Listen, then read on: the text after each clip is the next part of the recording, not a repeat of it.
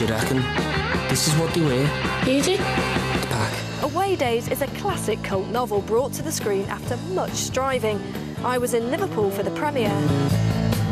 Are you looking forward to seeing Away Days this evening? Yeah, I mean, you know, it's it's obviously it's a um, it's a it's a local thing, and it's it's it's been brought here for the premiere, which is obviously another a nice kind of moment. But I mean, in general, I'm just I'm a big film fan and I'm a fan of football as well. So, and I did audition for this a while back. So. Oh, did you? Yeah, yeah. So you're going to watch it and think, I could have done that. No, I won't do that. I'm just here No. to, as a fan. So. But of course, being in Hollyoaks, I mean, that's set around the northwest, and this obviously is as well.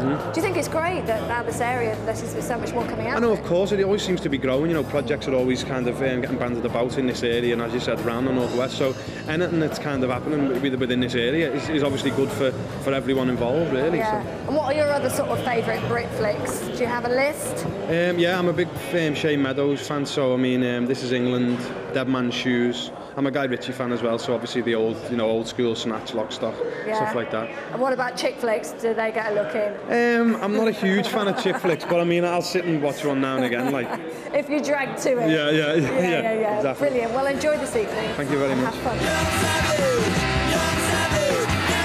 One last away day, then we're done.